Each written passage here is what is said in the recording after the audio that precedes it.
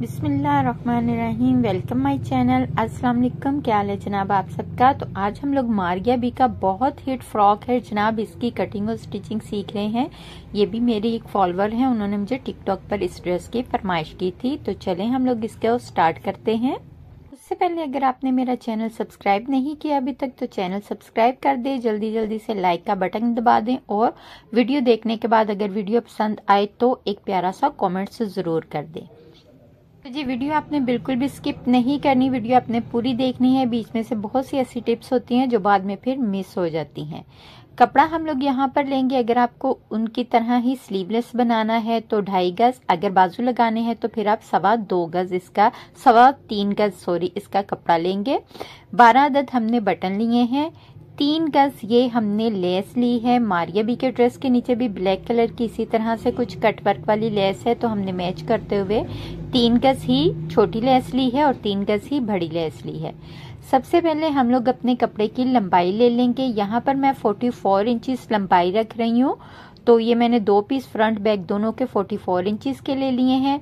चौड़ाई की बात करें तो यहाँ पर हमारे कपड़े का अरस है 42 इंच ठीक है? 42 इंच में से हम लोगों ने अपने सेंटर की चौड़ाई निकालनी है जितना हमारा चस्ट का एरिया होगा। यहाँ पर मेरी चस्ट है 23 इंच पर तो मैं 23 इंच पर सेंटर वाले पैनल की चौड़ाई लूँगी। आप लोगों ने अपने नाप के हिसाब से कट करना है, जिनकी 20 इंच है 19 इंच 18 इंच जो भी आपका साइज़ आएगा, आपने उतना ही सेंटर वाला एरिया रखना है, ठीक है? यहाँ पर हमारी चेस्ट का साइज़ था तेईस इंच तो हम लोग तेईस इंच फ्रंट बैक कट कर लेंगे। बाकी ये हमारा जो कपड़ा है, ये बच रहा है उन्नीस इंच का। तो आपका जितना भी बचेगा, आपने सारा रखना है। अरज हमें कपड़े का सारा ही इस्तेमाल करना है। तो इस तरह से मैं अपना तेईस इंच का कपड़ा दो पीस में कट कर लिया है, यानी कि फ्रंट और बैक का। तो इसको अच्छे से मैंने सेंटर से प्रेस भी कर लिया है। अब हम लोग अपनी शर्ट की कटिंग करेंगे। यहाँ पर तीरा मैंने लिया है 16 इंच पर। आर्म होल की लंबाई मैंने ली है साढ़े सोलह साढ़े आठ इंच पर। ठीक है? तो आप अपने नाप के मुताबिक यहाँ से कटिंग करोगे, तीरा जो भी आपका साइज़ होगा, आप उसके मुताबिक लोगे आर्म होल भी। नॉर्मल आपकी जिस तरह से शर्ट की कटिंग होती है, इस तरह रखेंगे। बस यहाँ पर हमारा मार्जिन कोई नहीं है। इतना फ़र्क आ रहा है, ठीक है? और चौड़ाई हम लोगों ने अपनी चस्ट के हिसाब से लेनी है। आर्म होल हम लोग ड्रॉ कर लेंगे फ्रंट और बैक दोनों का एक जैसा। उसके बाद यहाँ से देखिए, यहाँ पर हमारी कमर आती है साढ़े छः इंच पर। तो इस तरह सिर्फ़ एक इंच का हम लोगों ने अंदर की साइड पर एक मार्क लगा लेना है, बस हल्की सी शेप देनी है और इसका कोई काम नहीं है कि हमारी कली थोड़ी सी आगे की तरफ़ आए, ठीक है? आपने मॉडल पिक में भी देखा है कि कली हमारी नीचे से आर्म होल के नीचे से स्टार्ट हो रही है, लेकिन सिर्फ़ हल्की सी शेप देने के लिए हम लोग एक इंच जो है वो अंदर की तरफ़ कटिंग कर लेंगे। आप इसी तरह सेम कटिंग कर लोगे साइज़ आपका जो भी होगा। अगर आप छोटी बच्ची का भी बना रहे हो तो आप नाप के मुताबिक साइज़ ले लोगे। अब हम लोग यहाँ से अपनी कली की लंबाई नाप लेंगे। नीचे से लेके हमारी ऊपर तक आर्म होल तक लंबाई आई है साढ़े पैंतीस इंच ठीक है? तो अब हमने जो 19 इंच के हमारे साइड से कपड़ा निकला था ना, वहाँ से हम लोग साढ़े पैंतीस इंच के दो पीस कट करेंगे। दो पीस चौड़ाई हमने 19 सारी रखी है। लंबाई हम लोगों ने जो है कली की, वो साढ़े पैंतीस इंच की दो पीस कट किए हैं, ठीक है? अब हम लोग इसको इस तरह पकड़ के सिंपल तकोन में रख लेंगे। यहाँ पर आपकी साइड से जितना भी कपड़ा बचा होगा, आपने सारा रखना है, आपने ये नहीं देखना कि 19 इंच आए ऊपर से जो हम लोग कली की चौड़ाई रखेंगे, वो हम लोग रखेंगे डेढ़ इंच, क्योंकि यहाँ पर हमें सिर्फ़ सिलाइयों के मार्जिन के लिए कपड़ा चाहिए। डेढ़ इंच ही हम लोग इस कोने से रखेंगे और डेढ़ इंच ही हम लोग इस कोने से रखेंगे कली को ऊपर वाली साइड से। नीचे से चौड़ाई का कोई साइज़ नहीं होगा, जितना आपका बाकी कपड़ा बचेगा, आपने सारा ही रख लेना है। अब इस तरह से हम लोग कली कट कर लेंगे। ये दो पीस थे तो ये हमारी चार कलियाँ कट हो गई, दो एक साइड की और दो एक साइड की। कलियों की बस ये सिंपल सी कटिंग है, लेकिन इनको लगाने का तरीका थोड़ा डिफरेंट है, वो हम आगे चल के देख लेंगे। बाजू की बात करें तो उन लोगों ने स्लीवलेस बाजू लगाए हैं। हम यहाँ पर बाजू लगा रहे हैं तो यहाँ पर मैंने 18 इंच का बाजू कट किया, उसके आगे 5 इंच की लेस लगाई है। आर्म होल हमने रखा है 9 इंच का। लेस हम लोगों ने इस तरह कट वर्क में अटैच की है, जिस तरह से पैच लगता है। आप चाहें तो घर पर खुद लगा लें या फिर मार्केट से लगा लें। बाजू हमने फ्रंट से साढ़े छः इंच खुला रखते हुए उसकी फिटिंग की सिलाई लगाकर बाजू अपने रेडी कर लिए हैं। गले की बात करें तो गला उन लोगों ने काफ़ी छोटा बनाया हुआ है, बनाया हमने भी छोटा है, लेकिन इतना भी छोटा नहीं, इसकी चौड़ाई है साढ़े छ इंच और लंबाई है। इसकी तकरीबन पौने पाँच इंच है। पाँच इंच से थोड़ा सा कम है। जो हमने फ्रंट पर बटन टेक बनाई है, वो 11 इंच की रखी है। ठीक है? ये सब ऑप्शनल है। आप अपनी पसंद के मुताबिक इसका साइज़ रख सकते हो। अब हम लोग गले की सिंपल सिलाई लगाएँगे, जैसे नॉर्मल गला होता है, और दूसरी साइड पर पलट देंगे बिल्कुल सिंपल सिलाइयाँ लगानी है।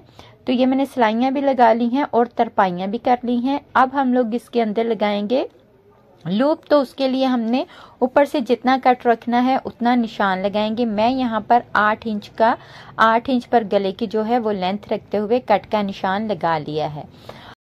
अब एक इंच चौड़ाई में मैंने ये पट्टी रेडी कर ली है। जितना हमारा नीचे का एरिया है, उतना आप लंबाई के हिसाब से रख लोगे, क्योंकि ये पट्टी हमने नीचे रखते हुए ऊपर से अपनी पट्टी सिंपल सिलाई करनी है। यहाँ पर मैं आपको तरीका सिर्फ़ बता रही हूँ, क्योंकि वीडियो बहुत लंबी हो जाती है, फिर आप लोग स्किप कर देते हो, जिससे हमारी वीडियो पर बुरा इम्प्रेशन पड़ता है। ये मैंने कुछ लूप्स भी रेडी कर लिए हैं। लूप्स की जो लंबाई मैंने ली है, वो है जी ढाई इंच पर तो ढाई इंच पर लूप्स मैंने 12 कट किए हैं क्योंकि हमारे बटन भी 12 अदद थे तो इनको मैंने सेंटर में इस तरह से गम लगाकर आपस में अटैच कर लिया है ताकि सिलाई में आसानी रहे। तो आप भी इस तरह से कर सकते हो। उसके बाद हम लोग क्या करेंगे? हम अपने लूप्स को एक साइड की सिलाई बिल्कुल बंद कर देंगे और दूसरी साइड पर इस तरह से लूप्स रखेंगे।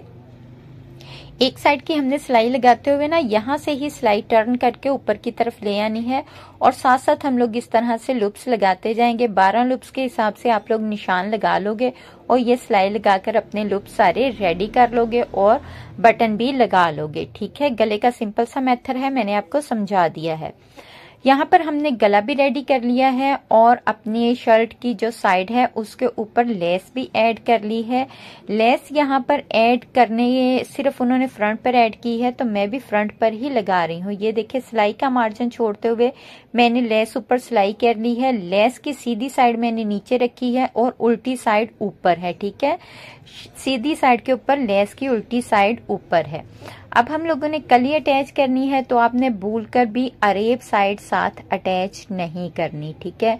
आपने जो बिल्कुल सीधी स्ट्रेट साइड है, वो यहाँ पर कली की अटैच करनी है। यहाँ पर जो ये कोना है, वो आप मॉडल पिक में देख सकते हो, बिल्कुल बाहर की तरफ़ आएगा। बिल्कुल इनका इसी तरह से तीखा सा एक कोना है, क्योंकि उनकी शर्ट ज़्यादा स्लिम है तो उनका कोना ज़्यादा बाहर की तरफ़ निकला हुआ है। अब हम लोग यहाँ पर साथ साथ सिलाई लगा लोगे, लगा लेंगे। आप चाहें तो ये जो लेस वाली सिलाई है, उसके ऊपर ऊपर सिलाई लगा सकते हैं। एक तरीका ये हो जाएगा कली अटैच करने का। एक तरीका ये है कि हम लोग कली नीचे रखेंगे और उसके ऊपर ये लेस को सीधा करते हुए सिलाई लगा लेंगे। वो तरीका मैं आपको बता दूँगी।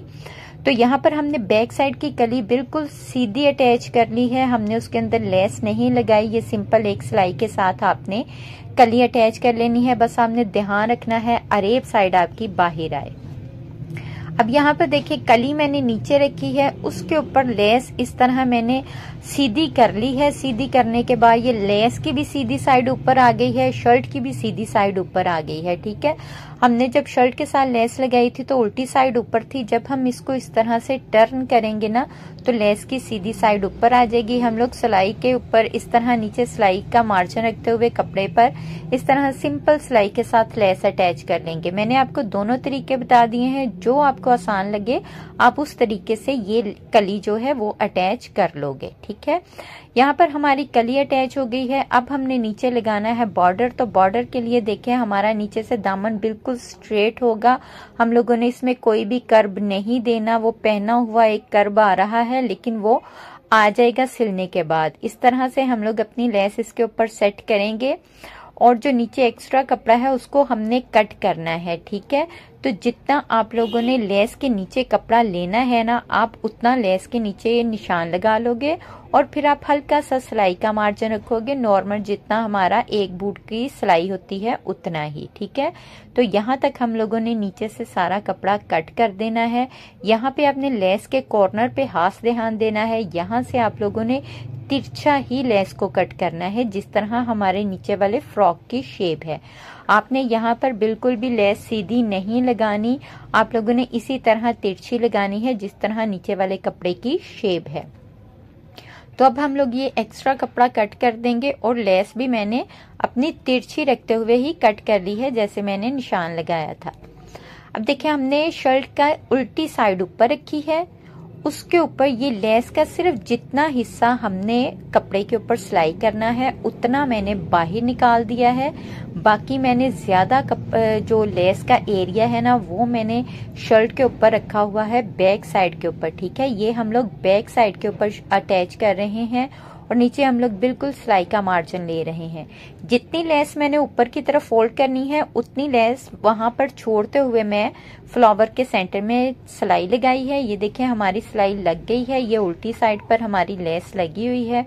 अब जैसे ही मैं इसको इस तरह पकड़कर सीधा करूँगी, दूसरी साइड पर ये देखें पलटेंगे हम लोग इस तरह से। तो ये देखें लेस हमारी अपने आप सीधी हो गई है। अब आप लेस के कॉर्नर पर गम लगा लोगे, कोई भी आप यहाँ पर गम यूज़ कर सकते हो। गम लगाने से ये होगा, हमारी लेस एक जगह पे अच्छे से फिक्स हो जाएगी। ये देखें आराम से हमारी लेस बैठ जाएगी। अब यहाँ पर ये लेस अटैच करने के भी दो तीन तरीके हैं। आप चाहे तो मार्केट से लगवा लो।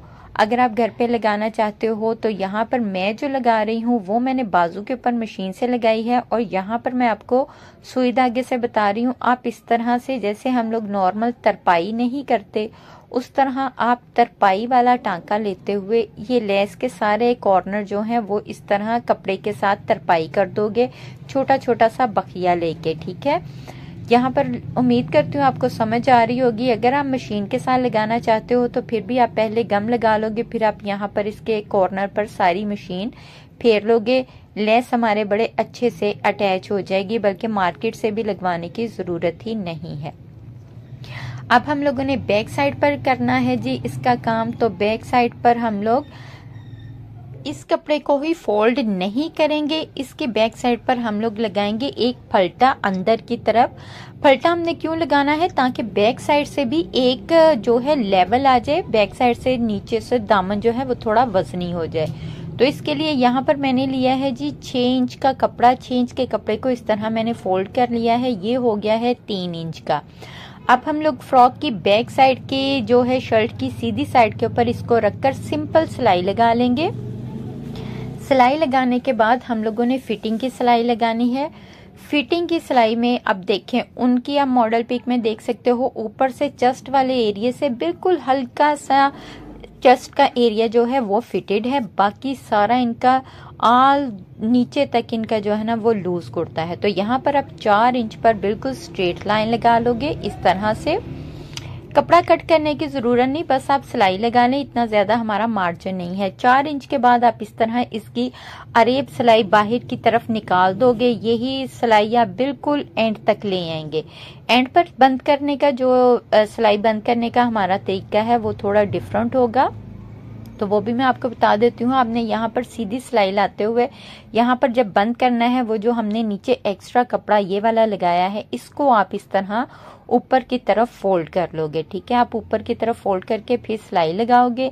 यहाँ से आप चाहें तो ये पहले ही अरेब कट कर लें या बाद में कट कर लें तो मैं यहाँ पर पहले ही अरेब कट कर लूँगी तो इस तरह से आपने यहाँ से इसको बंद करना है, ठीक है? इसी तरह हम लोग अपनी दोनों साइडों की फिटिंग की सिलाइयाँ लगा लेंगे।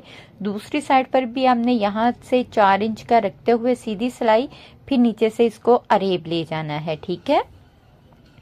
अब हमने बाजू, ये फिटिंग की सिलाइयाँ लगाने के बाद जो हमने बाजू तैयार किए हुए थे, वो हम लोग अपने बाजू भी इसके साथ ही अटैच कर लेंगे।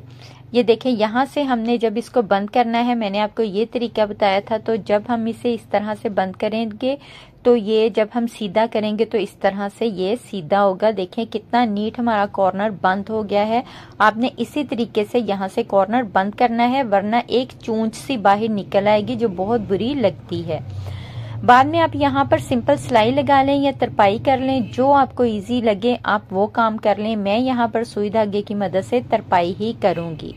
तो यहाँ पर आप घेर देख सकते हो, माशाल्लाह से कितना ज़्यादा तैयार हुआ है और ये हमने एक्सल साइज़ में बनाया है, ठीक है? लार्ज से जो हैवी साइज़ होता है, आपको अंदाज़ा हो रहा होगा, तेईस इंच पर इसकी चस्ट है तो इसका साइज़ क्या होगा? और माशाल्लाह से बहुत प्यारा हमारा ये ड्रेस रेडी हुआ है।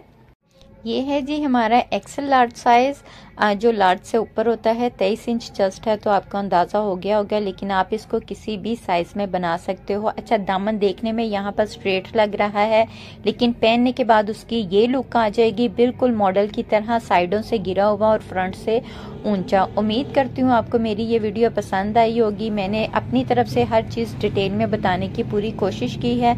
अगर फिर भी आपको किसी चीज़ की समझ नहीं आई तो आप मुझे कमेंट्स करके पूछ सकते हो। दुआओं में याद रखें। वीडियो लाइक ज़रूर कर दें, अपने प्यारों के साथ शेयर भी किया करें और अगली वीडियो के लिए इजाज़त दीजिए मुझे। अल्लाह हाफिज़।